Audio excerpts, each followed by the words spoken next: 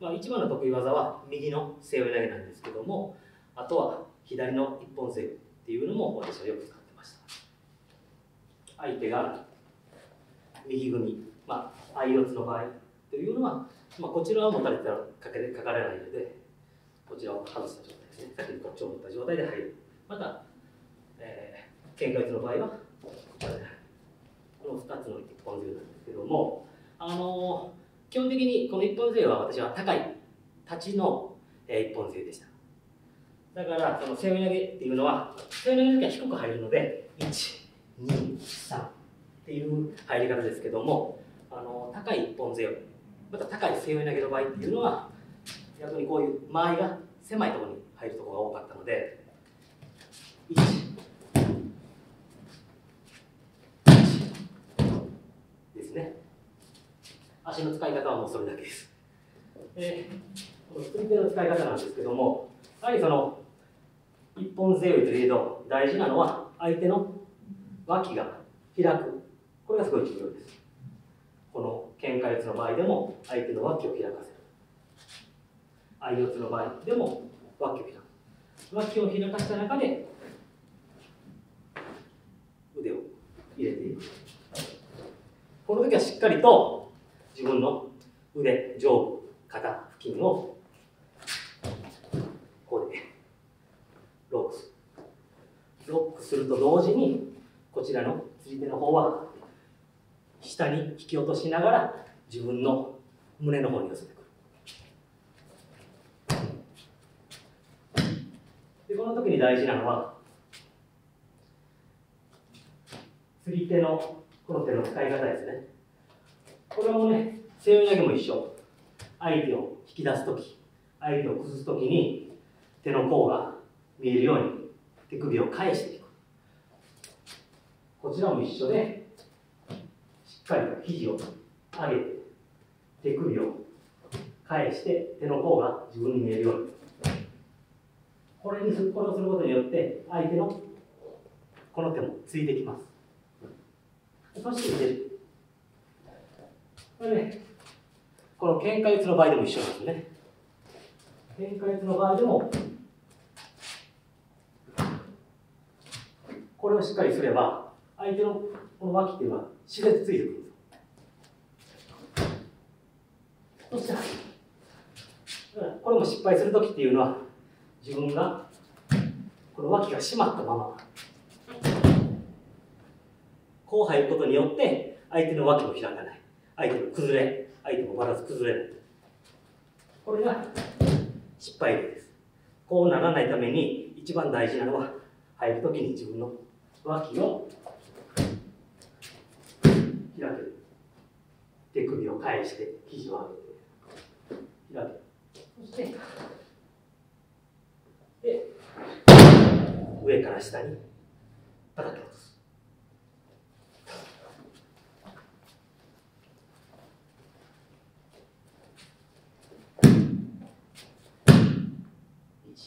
の時に手首を返す肘を上げる。この時も一緒ですそのスタート地点、はい、まず自分のこの拳釣り手の拳をしっかりと相手の胸に。当てて。当てて。真正面に入る。最後はこの釣り手をしっかりと自分の胸元肩に引きつけるようにしながら。上から下に落とす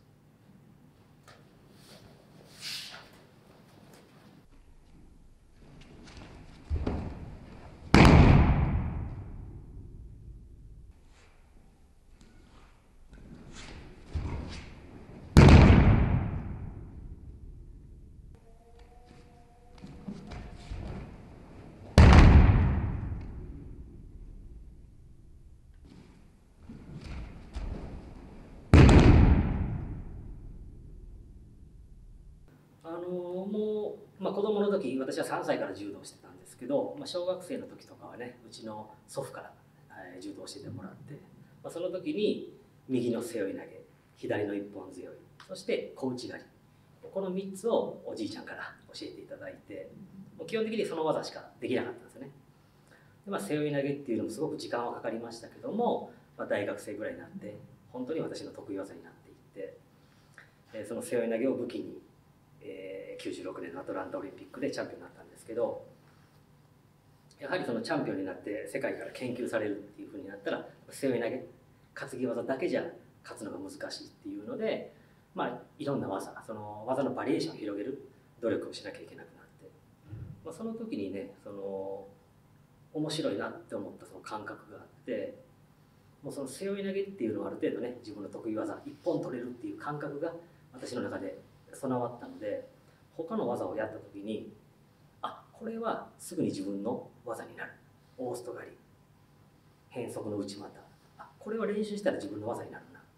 逆に袖釣り込み腰。担ぎ技は得意だけど袖釣り込み腰は練習しても多分得意技にならないなとかその相手をどういうふうに一本取れるかっていう感覚が自分の中ですぐに判断できる。それでこの技のチョイスっていうのがすごくねスムーズにできたように思います一つの技を極めるっていうのはすごく大事だなって思いましたね、まあ、選手として試合に勝てるようになるまですごく時間がかかりましたけどその、まあ、例えばねその子供の時に、まあ、このまあ高校生時代の時にあの組まない柔道をししていた自分が、まあ、組む柔道になってまあそれでも勝てなかったんですよね。ですごく時間かかったけど結局大学4年生のそのアトランタの時って体重もねその時もう60キロぐらいしかなかったんですよ。減量は必要なくて。だからやっぱ他の選手よりも少し体が細い。で実際こうベンチプレスもその当時60キロぐらいしかできなかったし握力も40キロしかないですよ。だから普通の数字で見ればすごく非力。だけどもあのー、実際相手と組み合ったらそのパワーで、えー、外国人に負けるってことはなかったんですよね。だからその子供の時若い時に体が小さくてもしっかりと組んでえー、っと切らない柔道をすることによって本当の意味で柔道に生きる体の使い方であったり、うん、その体の反応であったりっていうのが知らず知らずに、えー、養われていってでその中でまあ、ある程度筋肉もついて体が出来上がった時にさらにそういう技術を生かせるようになった、体の使い方力の入れ方力の抜き方組み方手首の使い方肘の使い方体重のかけ方。全てのそういう柔道の本当に理にかなった動きっていうのを若い時に体に染み込ませてそして体が出来上がってで背負い投げっていう技術も出来上がった時に急激に強くなったと思うんで。だからまあね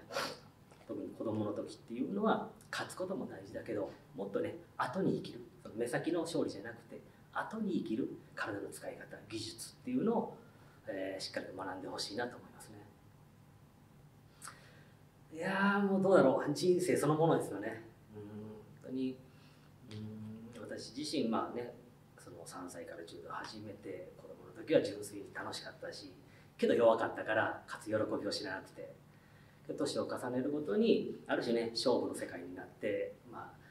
え挫折とか苦難とかいっぱいあったけどそれ以上のね大きな喜びがあって感動があって、まあ、自分自身の成長もあったと思しそれは柔道家としての成長でもあるしいろんな人との出会いの中で人間としてもね成長させてもらったものもいっぱいあったし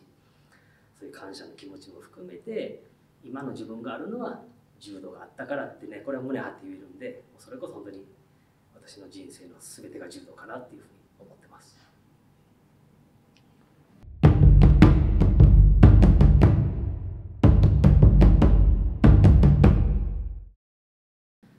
世界で、えー、柔道頑張ってる皆さんへ、えーとね、子供のうちは本当に純粋に柔道を楽しんでほしいなと思います。道場で柔道が大切にしなきゃいけない礼儀、ね、相手への感謝っていうのを学びながら、うん、本当に柔道、ね、投げたり投げられたり、ね、相手と向き合ってねそうやって練習しながら試合をしながら、えー、柔道楽しんでほしいなと思います。柔道楽しんで柔道好きになるっていうのが一番のエネルギーです、ね、そしてその後ね、えー、強くなっていけばオリンピックを目指せばいいし、ね、その後、うん、ね、まあ、柔道の良さとか柔道の楽しさ柔道の魅力っていうのをいろんな人に伝えれるようなそういうねえ柔道家になってほしいなと思います。みんな頑張ってください。